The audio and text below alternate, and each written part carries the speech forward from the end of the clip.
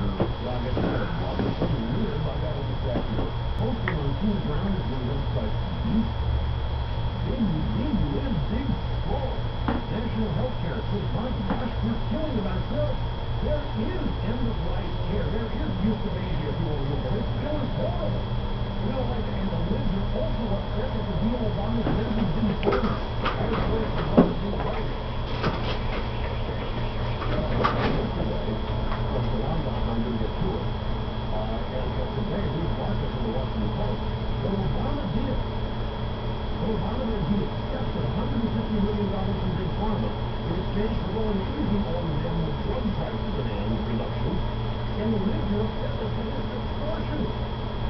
And they say, what, what, are doing? We're going to have our president getting involved with big business to get legislation done, and they're justifying themselves. So there's a lot of stuff Obama's doing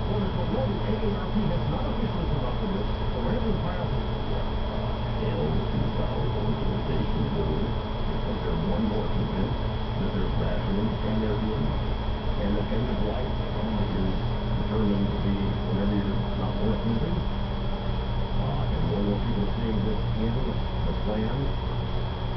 So it's, uh, it's not good. And finally, the look back is